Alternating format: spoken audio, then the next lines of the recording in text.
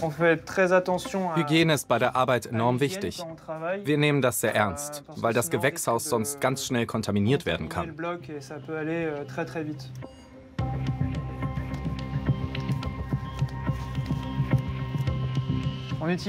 Im Pilzhaus tragen wir eine Maske wegen der Sporen. Wenn man die einatmet, fängt man an zu husten. Das kann sogar schwere Allergien auslösen. Deshalb sind wir da extrem vorsichtig. Mit der Ernte können wir heute ganz zufrieden sein. Aber bei den Pilzen ist das eigentlich fast immer so.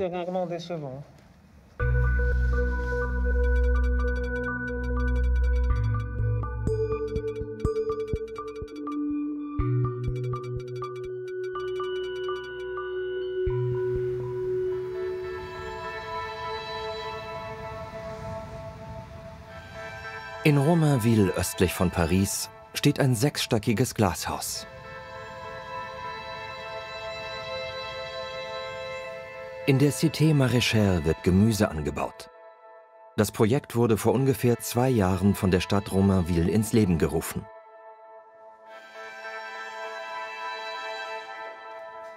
Auf 900 Quadratmetern wachsen hier verschiedene Gemüsesorten unter dem wachsamen Auge von Etienne Sailly.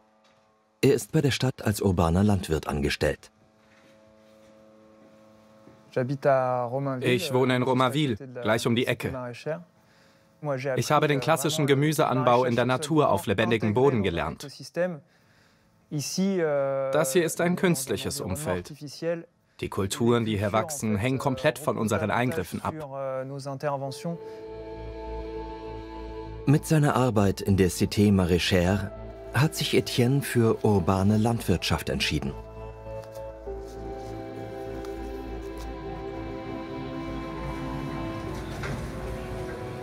Im Gebäude bewirtschaftet er jeden ihm zur Verfügung stehenden Quadratmeter.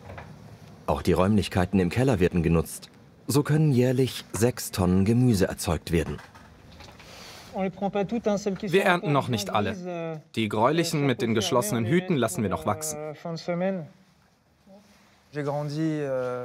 Ich bin im 19. Arrondissement von Paris aufgewachsen und Pariser durch und durch. Hätte man mir vor meinem 19. Geburtstag gesagt, dass ich mal in der Landwirtschaft arbeiten würde, hätte ich das nicht geglaubt. Damals hatte ich ganz andere Pläne und habe Jura studiert. Auf die Frage, was ich mal werden will, hätte ich Anwalt geantwortet. Das wäre ja auch nicht schlecht gewesen. Aber jetzt bin ich froh, meine Berufung gefunden zu haben.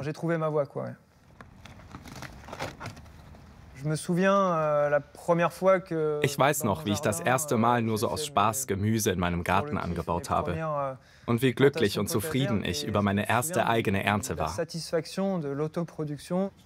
Das waren damals Kirschtomaten und die baue ich bis heute an.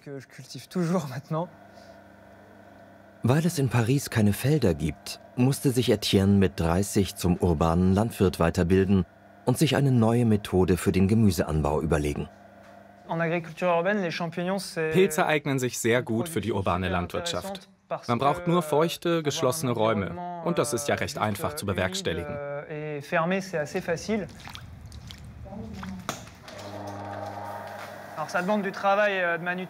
Klar muss alles sauber sein und die Pilze müssen nach der Ernte auch irgendwo gelagert werden.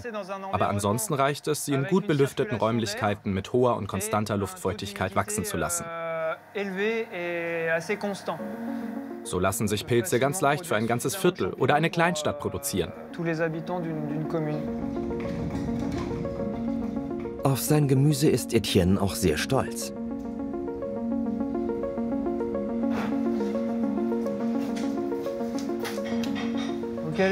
Beeilung, das Licht darf nicht lange brennen.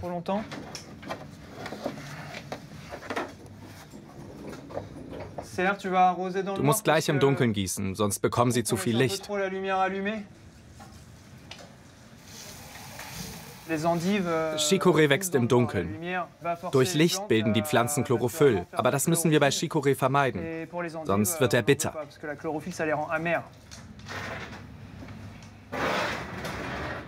Etienne produziert 300 Kilo Chicorée im Monat.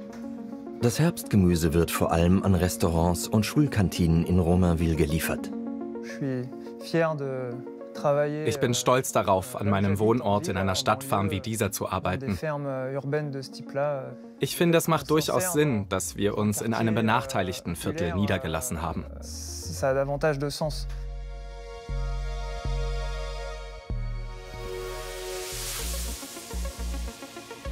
Die Cité Maraîchère von Romainville gibt es seit 2021. Die Stadt hat gut 30.000 Einwohner, von denen 25 Prozent unterhalb der Armutsgrenze leben. In den benachteiligten Vierteln aller französischen Städte ist gesunde Ernährung ein Dauerthema.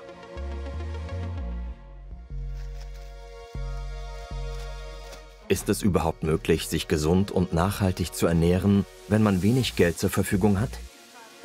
In Romainville setzen sich Einwohner und urbane Landwirte für die Lösung dieses Problems ein.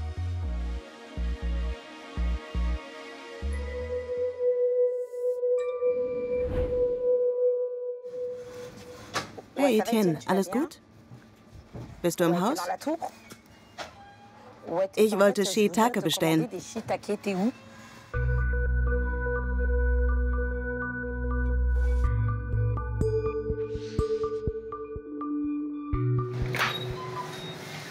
Um die hauseigene Produktion aufzuwerten, hat die Cité Maraîchère den Betrieb eines Restaurants ausgeschrieben. Hava Touré hat den Zuschlag erhalten. Heute koche ich Wujula. Das ist ein Gericht aus dem Norden von Mali. Ich bereite es mit Shiitake zu. Das ist die besondere Zutat, durch die Mali, Japan und unser Hochhaus miteinander verschmelzen. Merci Etienne. Wenn du noch mehr brauchst, sag Bescheid. Mach ich, danke. Das Restaurant wird von drei Frauen aus dem Viertel betrieben. Hava und ihre Freundinnen Loran und Lea haben schon immer von einem eigenen Restaurant geträumt. Das sind viel zu viele Nüsse. Ich bin doch noch gar nicht fertig. Die beiden wieder. Viele kommen nur wegen der Nüsse. Das Restaurant befindet sich im Erdgeschoss des Hochhauses.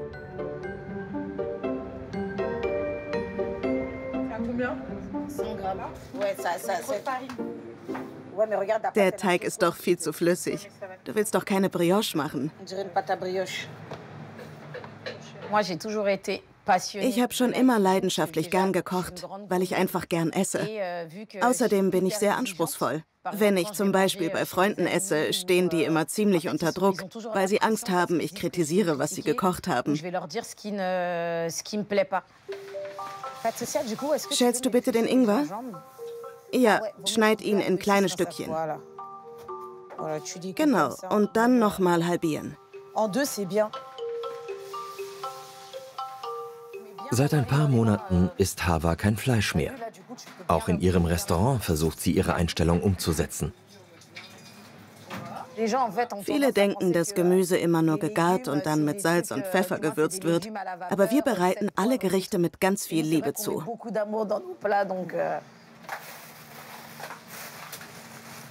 Im Viertel ist es aber immer noch normal, Fleisch zu essen. Deshalb muss Hava Kompromisse eingehen. Wir haben die Leute aus der Umgebung befragt und sie meinten, dass sie Fleisch essen möchten. Also haben wir beschlossen, Gerichte mit Fleisch anzubieten. Aber ursprünglich wollten wir ein vegetarisches Konzept umsetzen. Die Gäste sagen jedes Mal, dass sie nicht so viel Gemüse essen wollen. Sie wären doch keine Ziegen.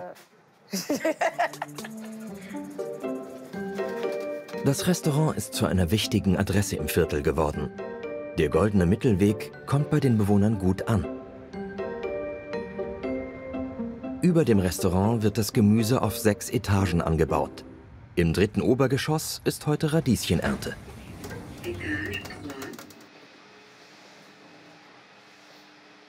Du nimmst die Blätter so in die Hand und je nach Größe sind es mehr oder weniger. Die hier sind kleiner, aber es gibt auch größere. Wenn du ungefähr 30 hast, bindest du sie zusammen. Das ist immer die große Kunst. Beim Gemüseanbau muss Etienne einige Vorschriften befolgen. Das Gemüse soll saisonal sein und es darf keine Chemie verwendet werden. Der urbane Landwirt hat aber auch ein soziales Engagement. Sechs Monate lang bildet er vier Arbeiter in einem Förderprogramm aus. Kürbisgewächse. Los, nennt mir alle. Ich gebe euch das erste vor. Zucchini. Welche noch? Wassermelone. Ja, sehr gut. Melone.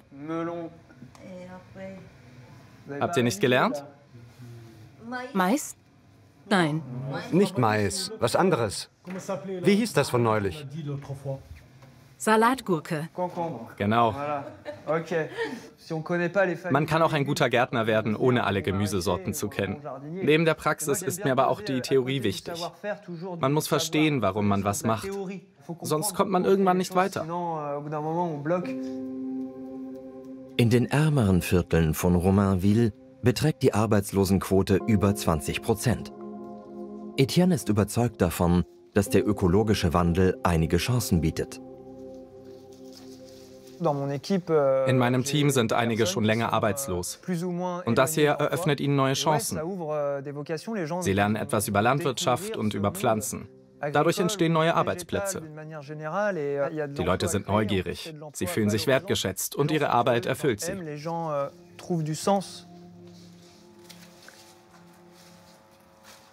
Etienne zeigt auch, wie man sich an die baulichen Einschränkungen des Hauses anpasst. Auf einigen Etagen mangelt es vor allem an Licht. Seit kurzem benutzen wir LED-Lichter für unser Gemüse. Trotz der Glaswände kommt wegen der Betondecken kaum Licht von draußen herein. Ich hätte es gern anders gelöst, aber ich finde, das ist ein ganz guter Kompromiss. Sonst gäbe es zu viele ungenutzte Flächen.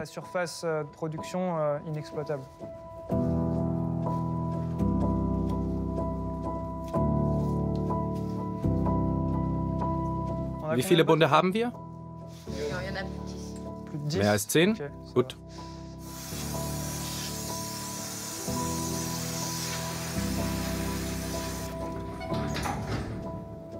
Mittwochs findet im Erdgeschoss ein Markt statt.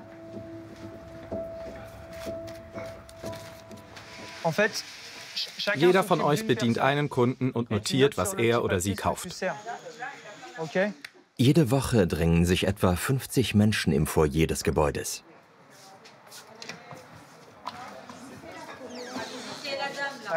Los geht's. Jeder bedient eine Person.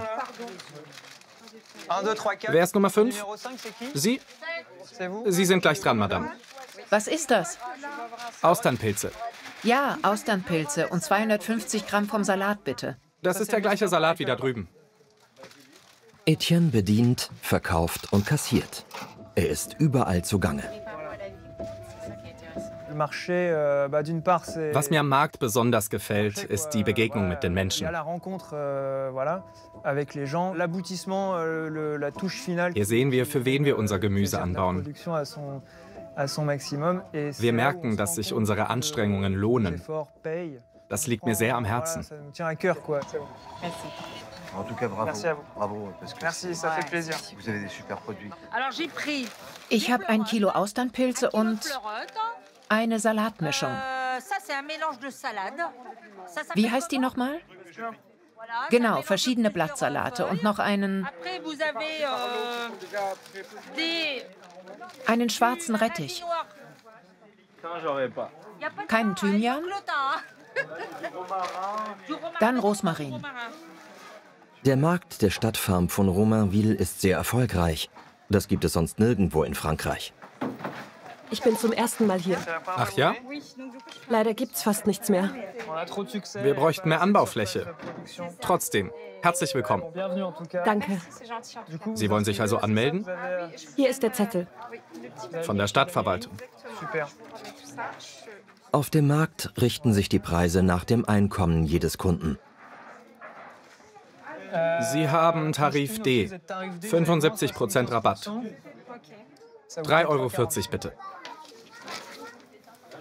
Wie in den Schulkantinen hängt der Preis von einem Familienquotienten ab. Das Projekt ist einzigartig in Frankreich. Das gibt's nur hier. 4,10 Euro bitte. Man muss auch noch bezahlen, bevor man geht. Schauen Sie mal, für 4 Euro ist die Tasche voll. Davon werde ich eine Suppe kochen, etwas backen und einiges mehr. Vielen Dank. Schönen Abend noch. Danke, auf Wiedersehen.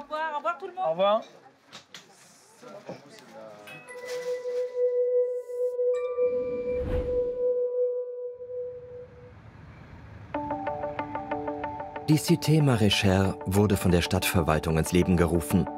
Die Betriebskosten belaufen sich auf 500.000 Euro im Jahr. Juna Conan ist Stadtplanerin und war an der Konzeption des gläsernen Hochhauses beteiligt. Sie wollte ursprünglich mit Urban Gardening eine Diskussion über Ökologie in den Stadtvierteln anstoßen. Von ihrem Büro im obersten Stockwerk aus leitet sie das Projekt.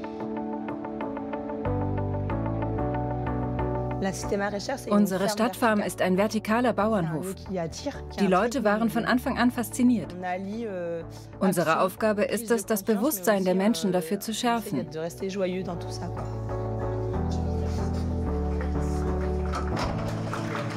Einmal im Monat organisiert Juna eine Diskussionsrunde.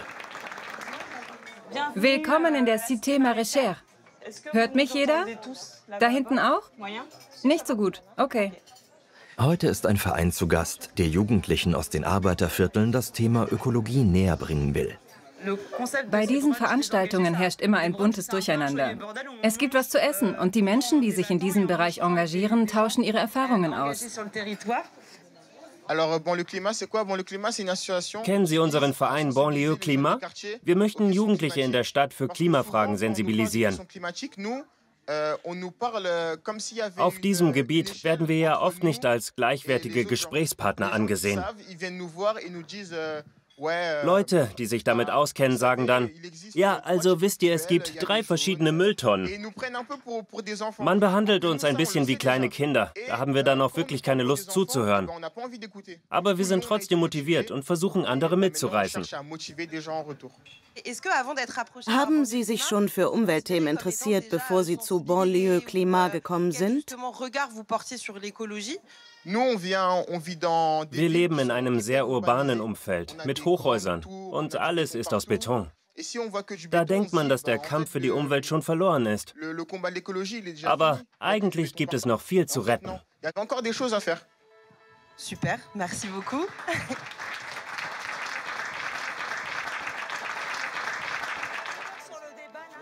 Die Meinung der Jugendlichen aus den Arbeitervierteln möchte Juna gern an die Politik weitergeben.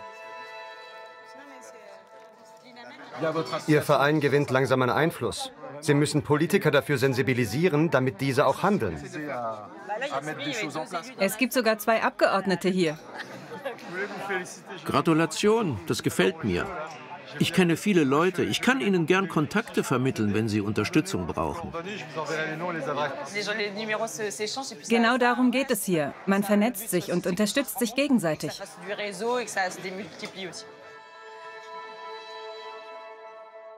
Für mich hat Umweltschutz auch viel mit Angst zu tun. Diese Angst will ich ins Positive kehren.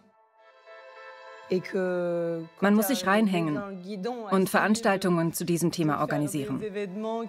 Diese schön gestalten und Menschen zusammenbringen, die sich für das Thema interessieren. Manchmal will ich den Kopf in den Sand stecken, wenn ich glaube, dass das alles nicht viel bringt. Aber dann nutze ich doch wieder meine Angst und werde aktiv.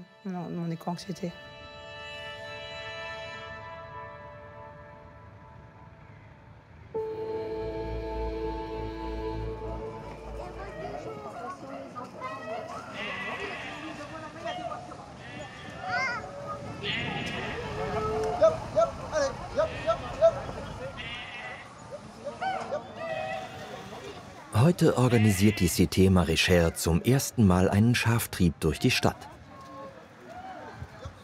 Die kommen aus der Region und sind nicht scheu. Eine Herde mit 30 Schafen macht neugierig. Das hier ist mein Viertel. Das ist lustig. Die Autos hupen, weil es nicht weitergeht. Aber sobald die Autofahrer die Schafe sehen, beruhigen sie sich. Mit ihrer Idee möchten Juna und Etienne Eltern und Kinder aus der Nachbarschaft anlocken. Zur Seite bitte. Machen Sie Platz für die Tiere.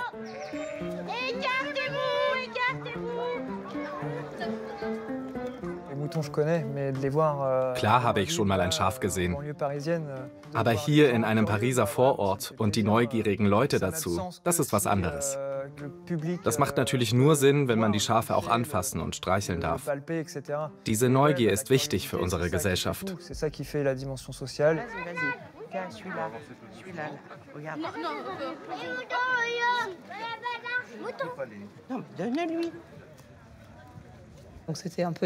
Das war ein guter Anlass, um über Tiere in der Stadt nachzudenken und wie man mehr Natur in die Stadt bringen kann.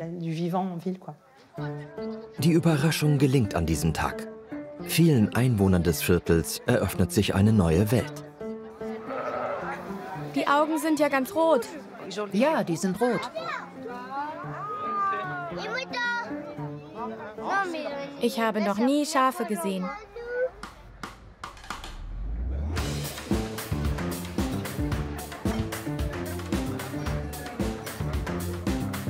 Im Erdgeschoss der Cité Maraîchère geht Bewusstseinsschärfung auch durch den Magen.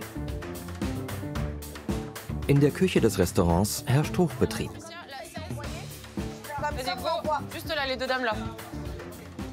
Hava kocht nur mit Gemüse von der Stadtfarm und mit Zutaten aus der Region.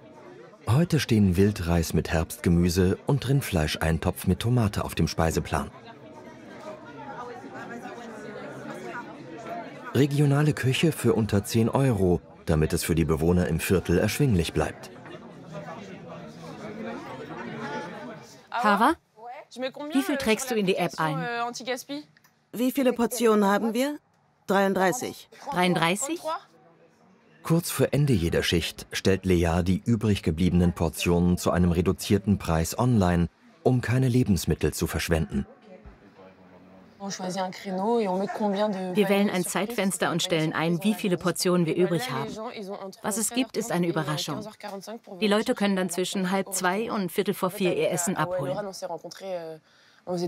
Zusammen mit Hava und Loran habe ich mich früher um Obdachlose gekümmert. Uns war wichtig, ein Restaurant zu eröffnen, mit dem wir möglichst viele Menschen erreichen. Und dass unser Essen für sie bezahlbar ist. Sonst hätte das für uns keinen Sinn gehabt.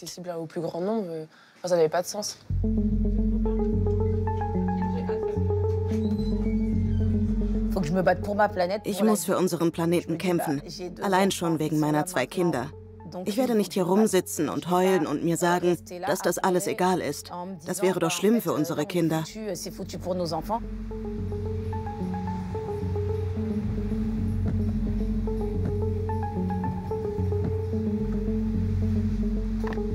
Ein paar Minuten außerhalb von Romainville holt sich Hava gern kostenloses Gemüse. Wo bist du, Papa? Du bist doch nie zu spät. Wir sind hier vom Garten. Alles gut?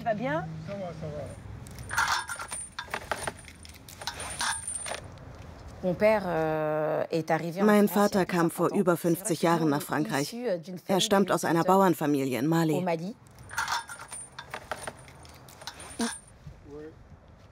Havas Vater ist Hobbygärtner. Früher arbeitete er für die Pariser Verkehrsbetriebe. Heute verbringt der Rentner die meiste Zeit in seinem Schrebergarten. Hier ist eine große Zucchini. Die ist ja riesig. Irgendwie lerne ich meinen Vater gerade neu kennen.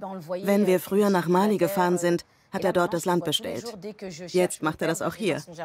Eigentlich ist er immer in seinem Garten. Damit zeigt er uns, wie wichtig es ist, darauf zu achten, was wir essen. Man kommt in den Garten und trifft sich mit Nachbarn. Man grillt, diskutiert und tauscht sich aus. Ich bin halt Bauer.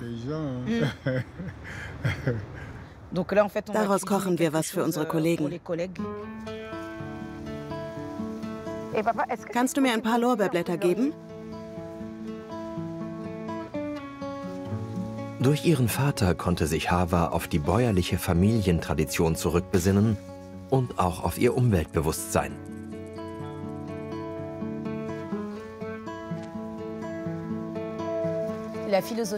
Mein Vater sagt, wenn wir uns um die Erde kümmern, dann kümmert sie sich auch um uns.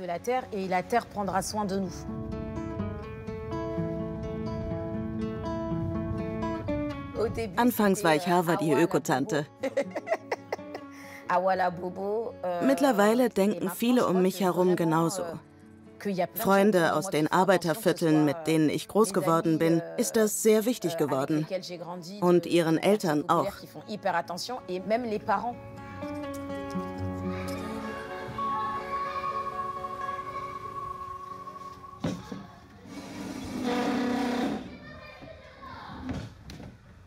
Das Team der Cité Maraîchère ist derweil auch in einem anderen Viertel der Stadt unterwegs. Noch einen Tisch? Ja, lieber noch einen. Juna koordiniert eine Baustelle mit 500 Quadratmetern für einen Obst- und Gemüsegarten im Viertel Gagarin. Sie organisiert öffentliche Veranstaltungen und bangt jedes Mal, ob überhaupt jemand vorbeikommt. Wir haben Workshops mit drei Leuten veranstaltet und haben uns nicht entmutigen lassen. Wir haben nie abgesagt. Das war schließlich was ganz Neues. Da darf auch mal was schiefgehen. Unser Projekt besteht aus einer Permakultur, einem Gemüsegarten und einem Obstgarten hier. Juna ist erleichtert. Der Saal ist voll. Wir stellen hier besser noch einen Tisch hin. Es braucht Zeit, um auch die Skeptiker vom Urban Gardening zu überzeugen. Eine Tischtennisplatte? Vielleicht etwas später. Eins nach dem anderen. Wir hatten angekündigt, dass es einen Sportplatz geben würde. Das war nicht sehr klug. Denn ein Sportplatz ist bei den Leuten viel beliebter als Apfelbäume. Es braucht etwas Zeit, bis einem die Bewohner vertrauen. Ob das für alle, für die Kinder, die Schule oder die Bewohner sein soll, entscheiden Sie. Allerdings wollen wir uns noch mit dem Thema gutes Essen und Trinken und mit Ökologie beschäftigen. Soll das für Sie im Projekt eine Rolle spielen? Egal, ob es um gutes Essen oder das Kennenlernen von Gemüsesorten geht. Ich würde das eher als Entdeckungsworkshops bezeichnen. Das ist sehr wichtig für die Landwirtschaft, für die Umwelt und für mich.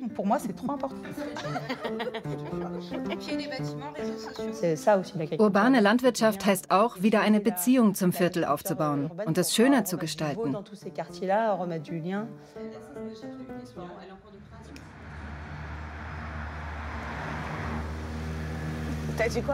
Wie war das?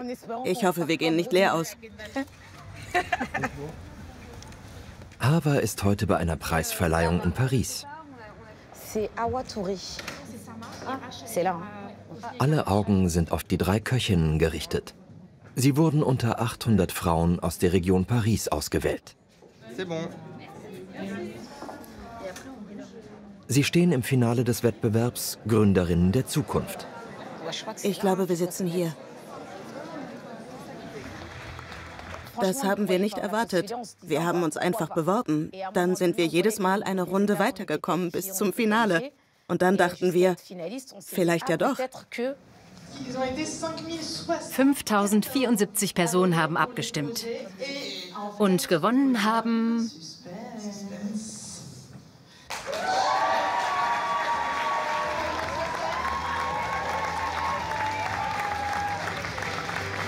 Jetzt kannst du wieder atmen. Atmen.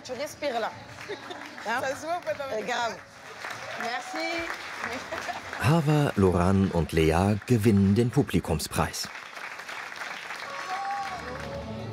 Ein großer Moment für sie und die Cité Maraîchère in Romainville.